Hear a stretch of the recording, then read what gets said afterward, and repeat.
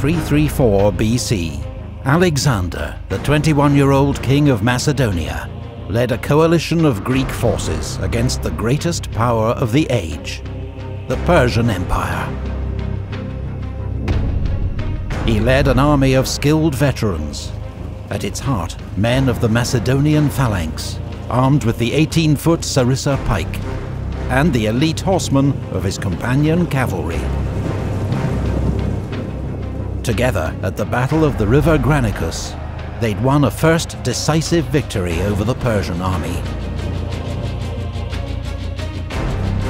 Now, as Alexander approached Sardis, capital of the Persian province of Lydia, its commander surrendered without a fight. But before Alexander could advance further, he needed to neutralize Persian naval power. Persia had a powerful fleet with major naval bases around the eastern Mediterranean that could potentially cut his lines of communication back to Greece. Rather than challenge the Persians at sea, Alexander decided to attack its nearest bases, the Greek coastal cities of Miletus and Halicarnassus.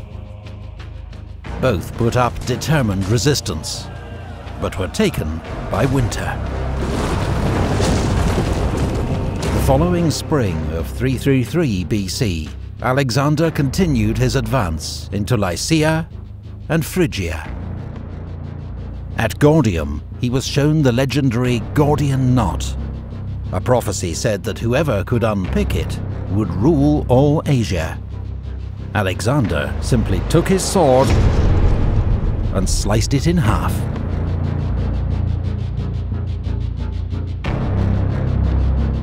Meanwhile, Memnon of Rhodes, a skilled Greek general in Persian service, led Persian warships into the Aegean and captured the islands of Chios and Lesbos. But after Memnon's sudden death from illness, the offensive was abandoned.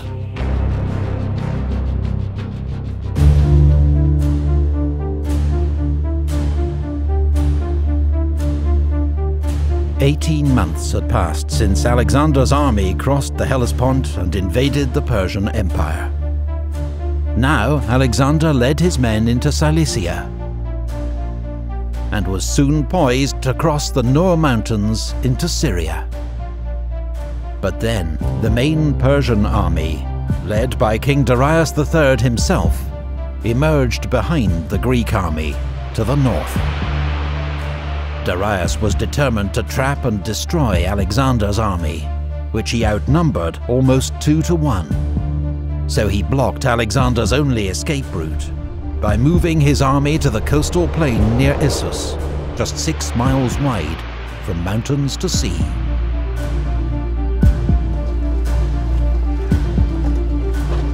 The narrow battlefield would force Alexander to fight, but it also prevented Darius exploiting his huge numerical advantage.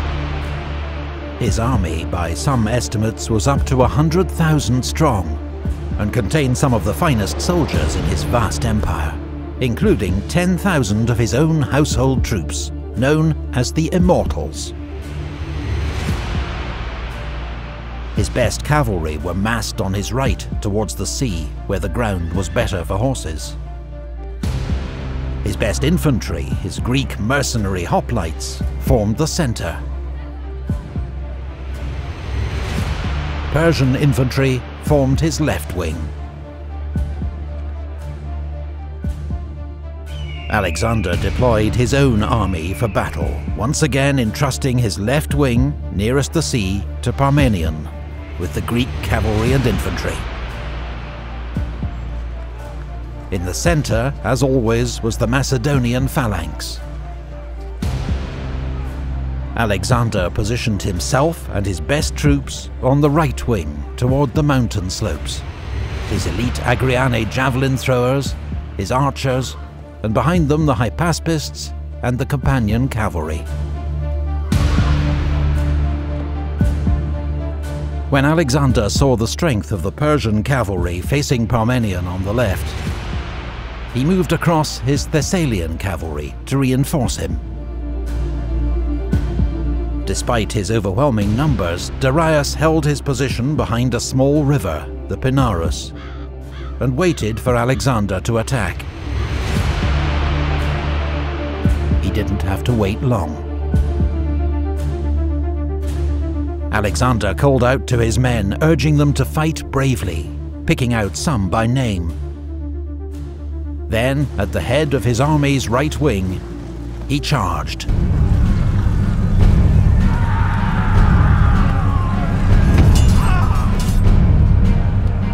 Once again, the speed and shock of the Macedonian advance sent the enemy reeling back. But in the centre of the battlefield, the Macedonian phalanx was in trouble. In its effort to keep up with Alexander, its formation had become disordered. Now, in fierce fighting with Darius's Greek mercenaries, the phalanx was slowly being driven back.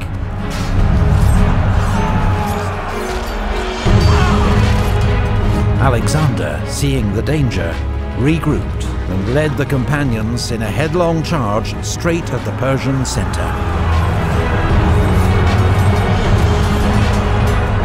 Greek mercenaries threatened on their flank were soon in disarray, and the Macedonian phalanx was able to resume its advance. Alexander fought his way towards the great king Darius himself. Rather than face this apparently mad and fearless Macedonian king, Darius fled the battlefield in his royal chariot.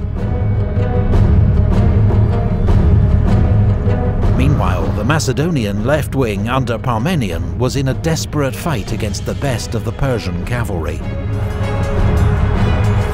If the Persians could break through here, they could envelop Alexander's army and snatch victory from the jaws of defeat but Parmenion and his troops fought doggedly and continued to hold the Persians at bay. As the news that Darius had fled spread among his troops, they abandoned the fight and tried to save themselves.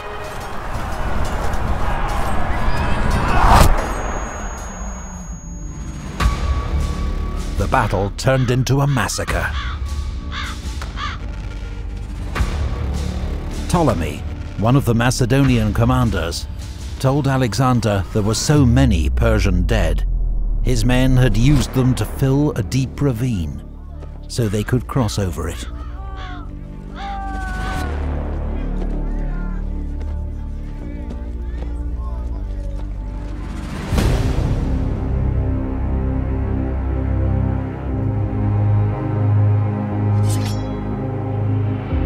the Battle of Issus was a stunning victory for Alexander.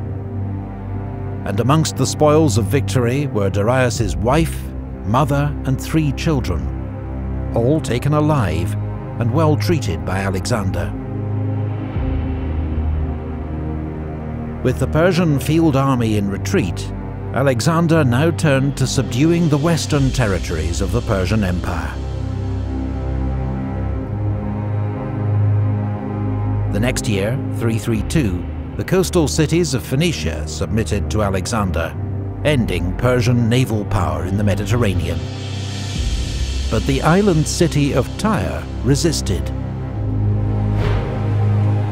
Tyre's defenders fought bravely and skillfully, even when Alexander began building a causeway to the island, protected by two giant siege towers, which they counterattacked with fire ships.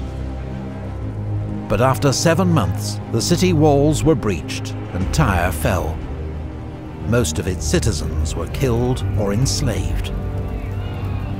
Gaza, too, was taken by siege. Alexander continued to Pelusium on the Nile Delta, where the Persian governor of Egypt surrendered the entire province to Alexander, along with the royal treasury.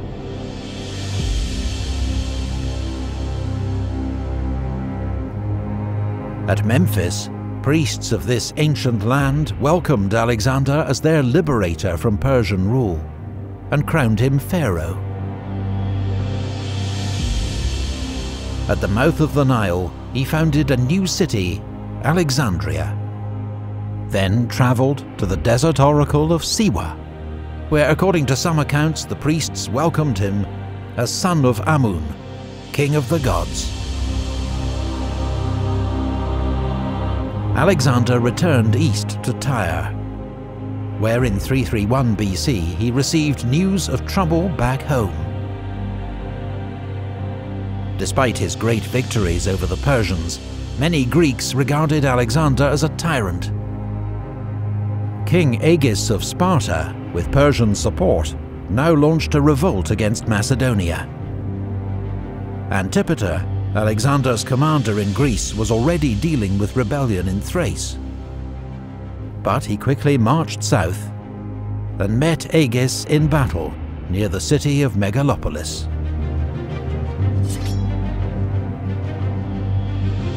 Even the legendary Spartans were now no match for Macedonian military power.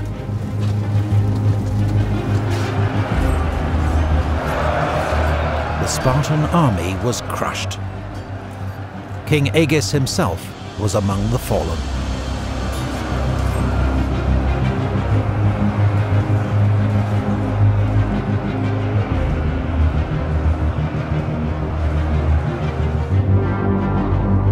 His base in Greece secure once more, Alexander advanced towards the Persian heartlands, seeking a final showdown with Darius.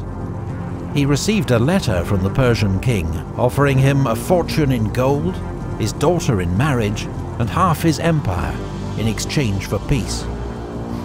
But Alexander's stunning victories, all the oracles and acclamations, had now convinced him that his destiny was to rule the world he rejected the Persian king's offer.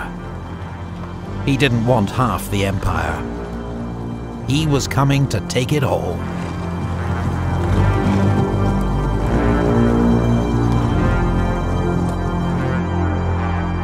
Research and artwork for this video comes from Osprey Publishing's extensive range of books on ancient history. Every Osprey book examines a particular battle, campaign or combat unit in authoritative, meticulous detail. And with more than 3,000 titles, they cover everything from ancient warfare to modern conflict. Visit their website to see their online catalogue. If you'd like to help us make more history videos, please visit our Patreon page. Huge thanks to Invicta for their help in making this series. You can find out more about the remarkable life of Alexander the Great in their Moments in History series.